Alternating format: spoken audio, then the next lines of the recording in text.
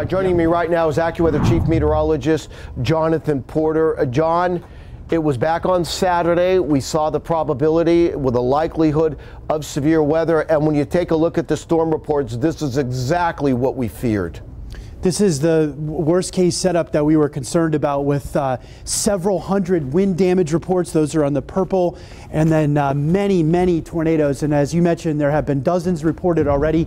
That number may double. And they were some of these were particularly intense, as you saw from that very significant damage in Greenfield and that tragedy that happened there. Yeah, John, let's let's let's go to that uh, the local radar here.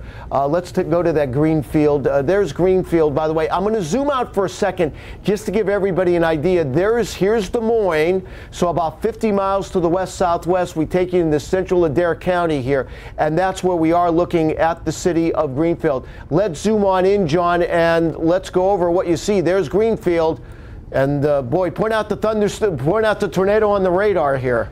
Right, here's a very strong signature uh, indicating that uh, tornado right approaching the Greenfield area. This is a town of about 2,000 people, and uh, the tornado uh, went right directly over uh, the Greenfield area. And we can see that in detail when we look at the winds. Yeah, take a look at the storm relative velocity, John. Yeah. Right, and this is where we're looking at the winds in the low levels, low levels of the atmosphere, and you can see the circulation center right in here. Uh, strong radar signature for a tornado heading right to Greenfield. Yeah, and then I'm going to take this right over the Greenfield area, yeah, John. Right Let's zoom in. Yeah, I'm going to zoom in here. and uh, talk about a tight couplet right now. Right, and when you hear meteorologists talking about a couplet, that's the, the difference between these red colors here and green colors in close proximity to, the, to each other. Those are winds coming toward the radar and away from the air, radar in close proximity. That in, in, indicates a very significant circulation associated with the uh, severe thunderstorm and tornado. I want to show you the correlation coefficient, John, and this is where we start talking about debris. This is as, as, as strong as a signal as you'll see. This is uh, almost a worst case scenario when a meteorologist sees this kind of a debris signature.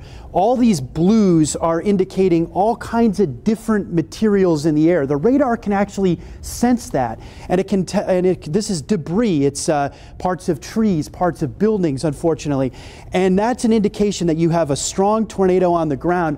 We saw reports, Bernie, that that debris was lofted way up in the atmosphere and fell out a couple of counties away from Greenfield that shows you just how intense this tornado was. In fact, John, let's take a look at this. Here's our debris ball. You can see that in the middle. I want viewers, let's follow. I'm going to go backwards in time, and you can see when this tornado actually started. We are now, that blue is now in Adams County, southwest of Adair County, so that's south of Greenfield here. We'll take it all the way into the southwestern part of Greenfield. There's the beginning of it right there. I'll draw it here, John, so you can see it a little better here. So this is the beginning of where this tornado went on the ground, right in here. I'm going to circle it, John.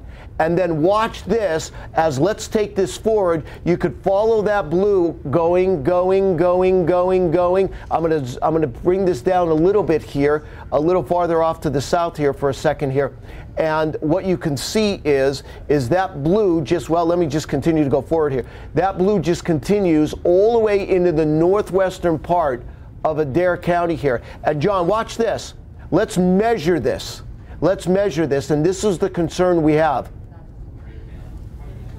It's right. called the Almost long track 50 tornado. miles. That's right. Yeah. So that indicates just how long this tornado may have been on the ground and how intense it was.